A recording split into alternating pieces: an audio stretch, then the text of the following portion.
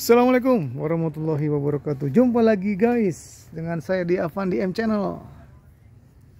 Ini dokumentasi tanaman melon di hari ketiga ya. Tiga sekarang tanggal 2 berarti ya 3 HSS eh 3 HST ya setelah tanam.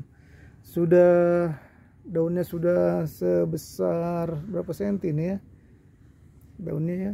Dan sudah mulai muncul daun kedua. Ini golden aroma ya guys golden aroma warna hijaunya emang eh, agak terlalu tua ya.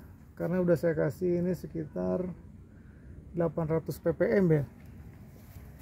800 ppm. Tuh guys. Cakep ya.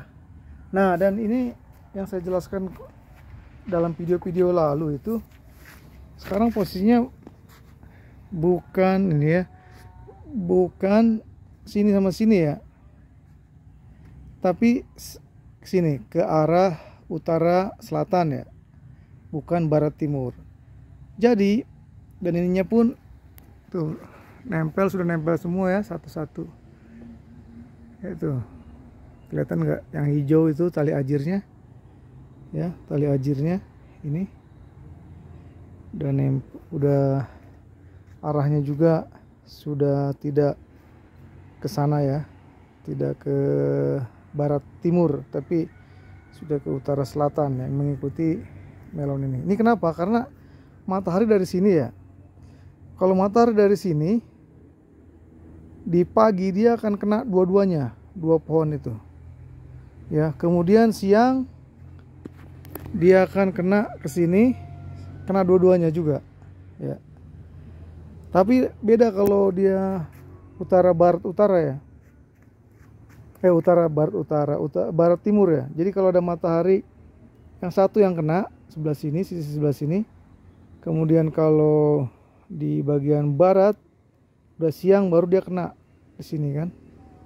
Nah kita coba mengikuti teman kita tuh yang saya pernah berkunjung di Ngawi. Dia pakai metode ini dan ini saya langsung terapkan ya.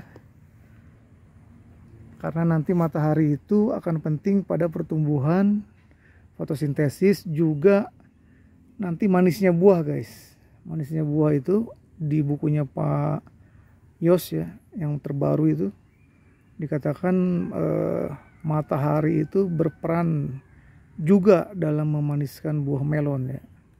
Bukan saja dengan rasio NO3 berbanding NH4 tapi juga e, nutrisi juga misalkan e, dengan menggunakan meninggikan e, kalium atau potasium atau juga dengan meninggikan e, sulfur. Ada yang sulfur ada yang bilang melon takut sulfur tapi ada yang bilang memaniskan itu pakai sulfur eh sulfur ya SOP ada yang juga pakai magnesium ya. Tapi yang jelas matahari itu berpotensi berperan sekali ya. Terutama nanti setelah polinasi ya. Setelah polinasi. Oke nanti kita lihat aja guys. E, eh, 30 hari ke depan ya. Apakah metode ini lebih baik daripada metode sebelumnya ya? Oh ini penampakannya tiga hari. Ya ini golden aroma e, kalau kita lihat Sakata ya. Ini Sakata ya. Sakata lebih cakep ya? Cakep dia Sakata. Memang kalau ada yang nanya ke saya pemula bagusnya pakai apa? Sakata aja dah. Sakata Glamour. Ya, Sakata Glamour itu Jepang impor dan uh, kuat cukup kuat ya. Ini eh, tanaman golden luna luna luna ya. Oh dia lebih cepat tumbuhnya ya tuh. Lebih cepat tumbuhnya tuh guys tuh. Manis ya manis manis. Oh manis nih bagus bagus ya tumbuhnya ya. Ini umur sekian ini umur ini penjagaan terhadap hama harus bener-bener ya.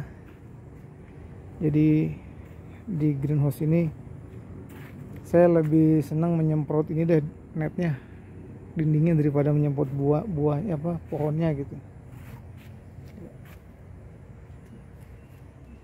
Kalau itu di sana di ujung eh, yang intanon ya.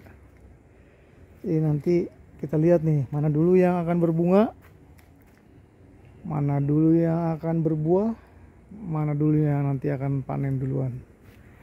Oke guys cukup sekian dulu ya